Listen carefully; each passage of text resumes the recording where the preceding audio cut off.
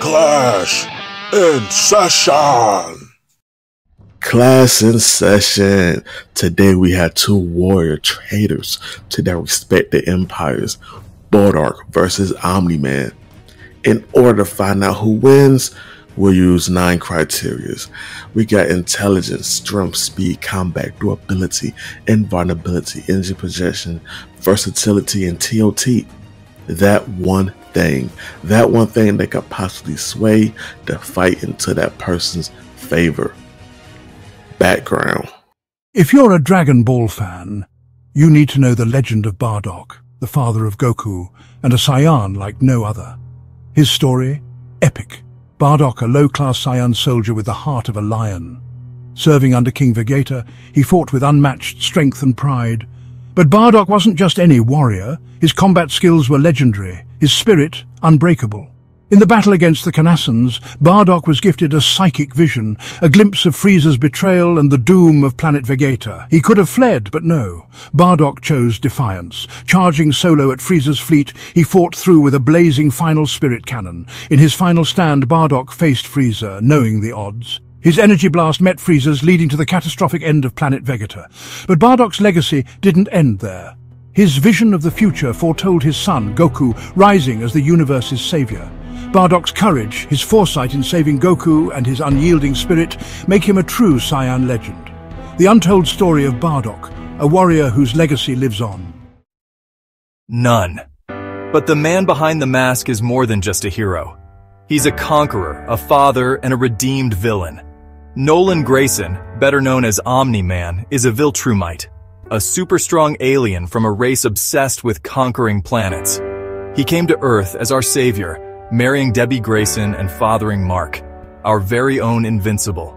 With strength that can topple mountains, flight faster than a jet, and durability that laughs in the face of destruction, Omni-Man is nearly unstoppable. But his story isn't just about power. Initially, Nolan was Earth's hidden threat, sent to prepare our world for Viltrumite rule. Yet over time, he began to see humanity through the eyes of his family. The love for his wife and son sparked a transformation turning him against his own kind. Omni-Man's journey from a ruthless conqueror to a protector fighting for redemption is a tale of epic proportions. He is proof that even the mightiest can change, driven by the most human emotion of all, love. If you're still here watching this battle, come back soon to check out this one. In fact, just subscribe so you don't miss it when it drops. Clash in session. Class in session. Hey, let's get right into it. Intelligence. Despite being a mere low-class warrior, Bardock is an incredibly skilled warrior. He stood as one of the Saiyans best in his time, easily taking over planets alongside his crew, an activity that he took great pride and enjoyment from. Bardock and Omni-Man are titled with being gifted when it comes to intelligence, but I'm edging this round to Omni-Man. His mastery of various Viltrumite combat techniques and skills, thousands of years of experience fighting both powerful and diverse enemies who have various ability and powers is what I'm betting on that's going to help him take this round. Omni-Man takes this round. Strength.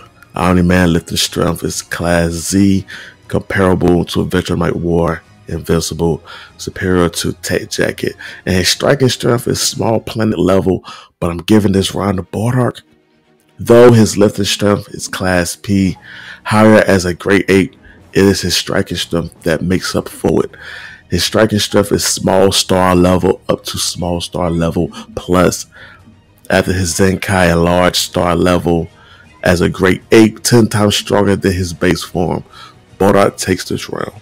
Speed. Bardock is faster than Light Plus, while Omni-Man is massively faster than Light Plus. Flew from Earth to the Virgo supercluster within a week, able to hold his own against Thragg, who can re, you know react to his flight speed. Also fought with post power up Allen, you know, Allen the alien, who can dodge Viltrumite ships. Omni-Man takes this round. Combat. These two warriors have many years and battles that they can contest their combat skills. But for me, when it comes down to hand to hand combat, I'm giving this round to the Master Martial Art Bardock. So yeah, Bardock takes this round. Durability, the ability to withstand wear pressure or damage. Omni Man takes this round with his regeneration, which is mid to low. You know, so yeah, Omni Man takes the durability round. Invulnerability, the quality of being impossible to damage or hurt in any way. I'm giving this round to the warrior that is wearing a armor that is designed to absorb impacts and dissipate damage from attacks and or energy attacks over the person who doesn't wear any armor at all. So Bardock takes this round. Energy projection. Omni Man doesn't have any energy projection, but Bardock does. He has abilities such as Flash Spirit, full power energy wave, final spirit cannon, explosive wave, rebellion spear, final revenger, giga meteor storm powerball, ki explosion, raging meteor, and many more. While we edit, let's give the versatility around the Bardock as he has more in his arsenal with abilities like ki manipulation, heat generation, information analysis, Great Ape transformation, yeah, and that Great Ape transformation gives them even more uh, versatility, you know. So, hey, Bardock takes both energy projection and versatility. TOT, that one thing that could change the match, I'm leaning towards Bardock's precognition. Bardock was given the ability of precognition foresight by an alien race. With this, he collapses, and during his recovery, he sees visions of Planet Vegeta and the same race.